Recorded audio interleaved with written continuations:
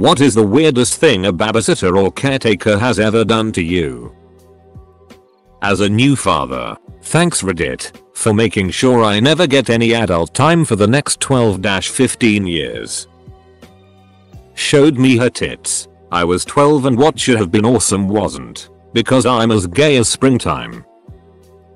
I have never had a babysitter do anything weird to me. Am I the only one whose parents only left them with trustworthy individuals? My babysitter would always complete my Rubik's Cube for me, I'd mess it up again, and she'd just complete it again, comma, I don't think I belong in this thread. I had a babysitter who pretended he was dead. He just was laying sprawled on the floor. 8 year old me and my 6 year old brother were both in hysterics before he got up and yelled, gotcha. And then my brother and I cried until our parents got home 3 hours later.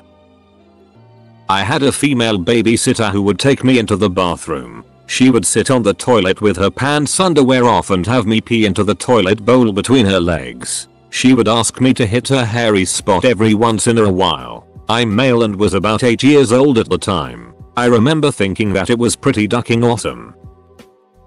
I had a babysitter who would try to hit me, but she was 60 or so she moved rather slowly compared to 8 stroke 9 year old me so she rarely ever landed a slap. She would usually hit me for pointing out that she was wrong or me talking back to her. One night she tried to hit me so I ran upstairs to my parents room where we kept our dog because she was terrified of dogs. I released the dog, breed, American Eskimo, and shouted I've released the hound. The dog ran downstairs and having never met her before barked at her. This babysitter ran outside barefoot into the snow, ran down the driveway, through the street and to the neighbor's house across the street called my parents and said she was never babysitting me again. Okay, this thread is ducked up. Dude, I think you were molested. I once locked the babysitter in the basements for 2 hours. She let me play with her turtles. She made sure I washed my hands afterwards. Not intentionally but I had a babysitter let me drink bleach when I was 2 or 3 years old. I was in the hospital for days. I had seizures and almost died. My neighbor made me wear a leash. Her kid was out of control, and we had to go to the grocery store. She pulled a leash out of her purse and hooked a velcro wristband around his arm. Before I had a chance to make fun of him, she pulled out another one and hooked it to me. I walked around patiently, hoping to be released on good behavior, but no luck. Also, the rule in her car was hands under the seatbelt, which was terribly uncomfortable and dangerous too. I was like 6 years old, and our family had gotten a Nintendo Entertainment System. I basically only played a couple of games, nothing very intense or interesting.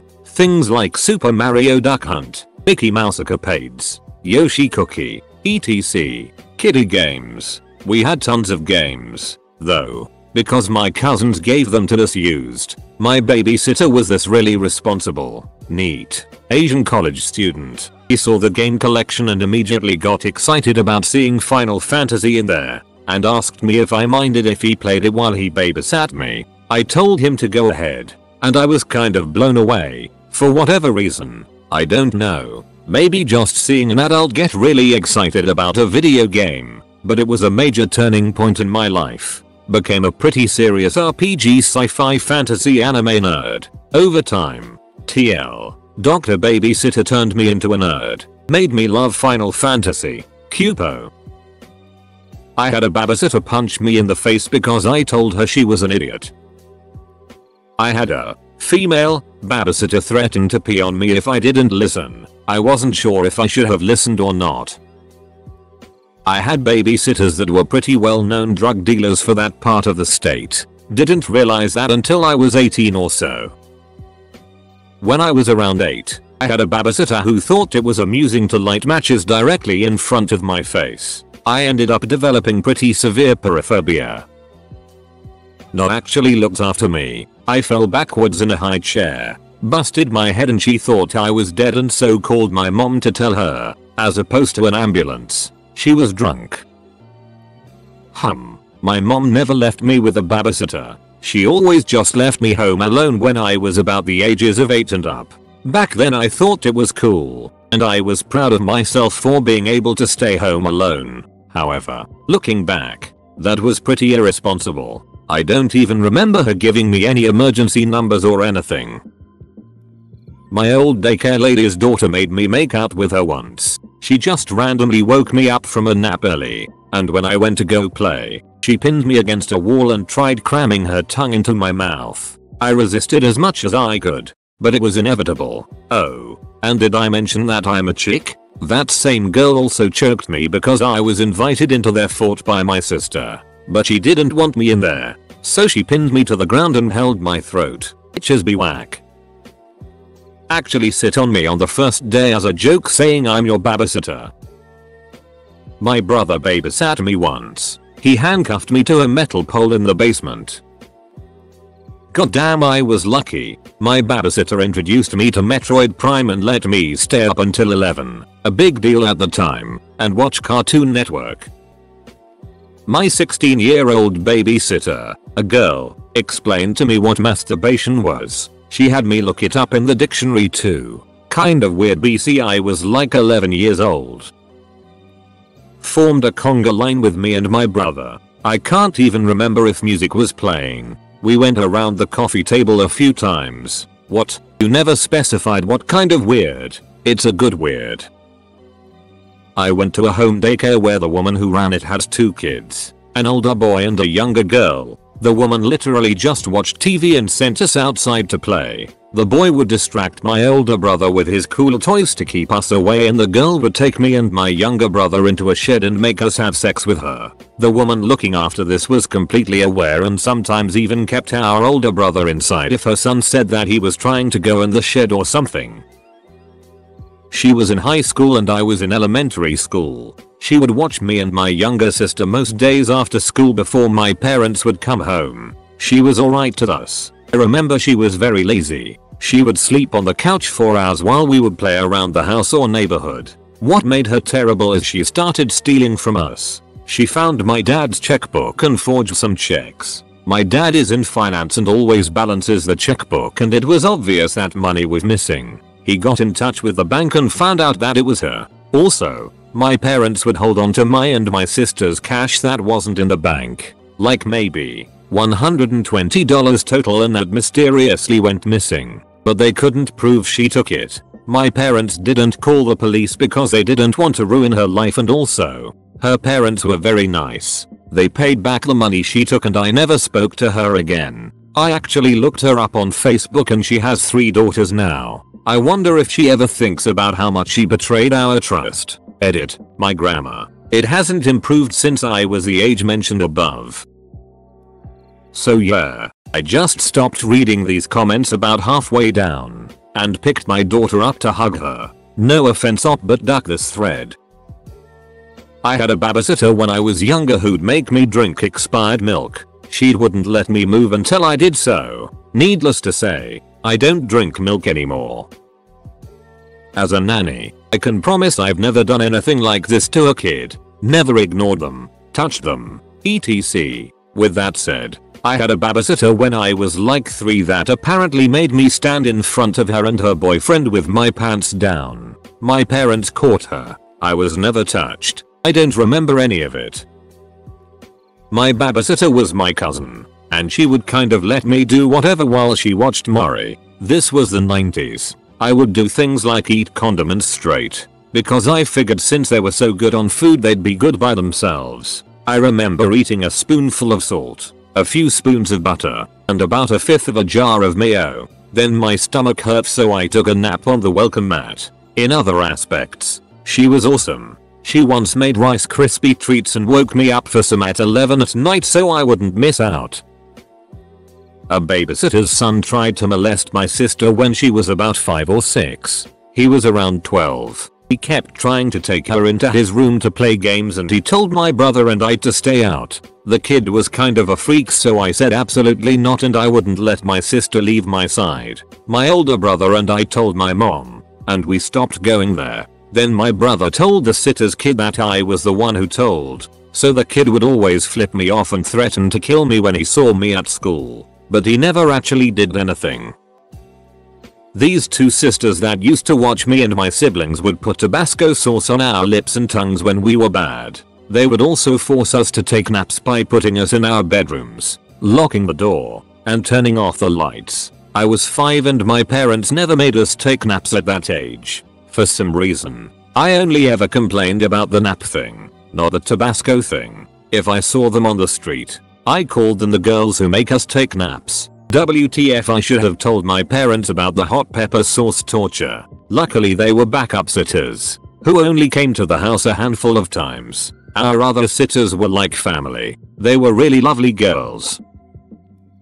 Genuine story. 30ish years ago my father was in British Merchant Navy and my mother would sometimes come along, working the bar, kitchen whatever. At the time I was just a baby, and they had the chance for some shore leave together but needed a sitter. The first mate volunteered to take the duty, and he was a Scottish lad with a strong desire for a drink just about every night playing to stereotypes but it's true. But he took his sitting duties seriously and didn't touch a drop whilst looking after little me. Upon my parents return they found him looking after me safe and sound, being bottle fed just a small touch of whiskey to help me get to sleep. I don't think my parents were even angry, just amused. But my dad has some great stories from when he was in the navy, as I suppose every sailor does, and this one is quite sedate in comparison.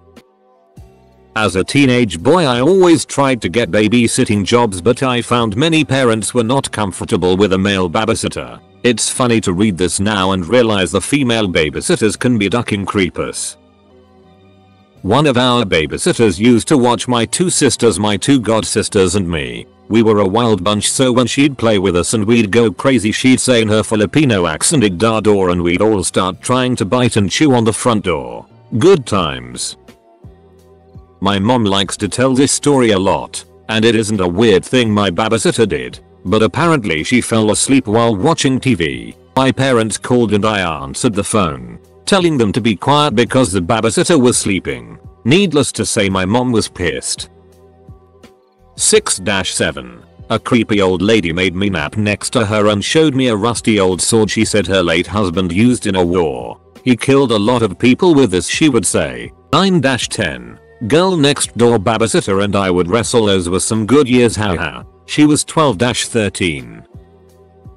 Well, my nanny treated me fine as far as I know, but I once had an au pair who we found out was a prostitute. My parents found out because she used my parents' beeper number for incoming calls from the escort service. My parents walked in her room and found boxes and boxes of condoms and a date book for all of the men she slept with. I understand that that may have been an invasion of her privacy, but she was a prostitute.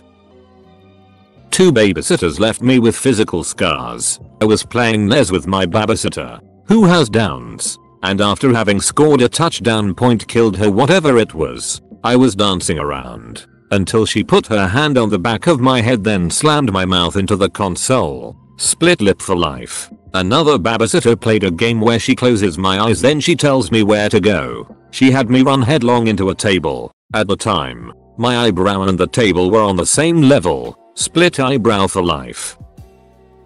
My family wouldn't let me in the bathroom by myself until I was a preteen, and found out this wasn't common, and threatened to start asking non-family about it, and not even all the time after that. I liked my first apartment very much, because it had a bathroom door, with a lock and everything. If I have any kids of my own, I think I'll do my best to make sure they have a bathroom connected to their bedroom, once they're at a reasonable age for it of course, so I don't even give myself the chance to do this. Evil. Pure ducking evil described all over this thread. I hope that all three of your sitters were arrested, especially 1 and 3. When I was like 6-7 living in Norway, I had beautiful Norwegian twin 18 year old sisters babysitting me. They would constantly hug me to their breasts whenever I seemed upset. I was upset a lot. As a teenage boy I always tried to get babysitting jobs but I found many parents were not comfortable with a male babysitter. It's funny to read this now and realize the female babysitters can be ducking creepers. When I was 3 years old I was left with a babysitter once. For lunch he fed me spaghettios, which call little toddler me a snob, but I thought they were gross. He forced me to eat them until eventually I puked. Then at nap time, I remember not wanting to sleep, so she threatened me with a hammer. I didn't get hit with it, but I was ducking terrified. I do not eat canned pasta. When I was 6 years old I had a babysitter named Latoya. All night she made fun of my favorite babiddle, calling her big head. When it was time to go to bed my brother and I took a bath and while I was brushing my teeth she lifted my up by my ankles, held me headfirst and upside down in the toilet and gave me a swirly. I told my parents what happened, and needless to say she was not asked back. One of my babysitters hated me and made me take naps in her son's room that reeked of BO and when I would nap she would make me sleep with my shoes on and my feet hanging off of the bed. She then forced me to eat foods I hated and would get mad at me when I would run to the bathroom and be sick. She also bought me a necklace charm that said brat which may seem like a slightly nice gesture except I was around 6 years old and was taught it was a bad word. One of my old babysitters taught me and my brother how to masturbate. I was 5 and he was 3. How special, right? I suppose it's no surprise that a couple years later my brother freaked out and tried to jam a broomstick up our new babysitter's butt. 1. One babysitter tried to get me to jump out of my second story window and onto one of those little exercise trampolines when I was 7. Full stop. Was crouched in the windowsill when my dad got home. 2. Other babysitter played death dice with me at around the same age. My role said I'd die at age 14 by being hit by a car. Took about 5 years to finally convince myself that I wasn't actually going to die at age 14.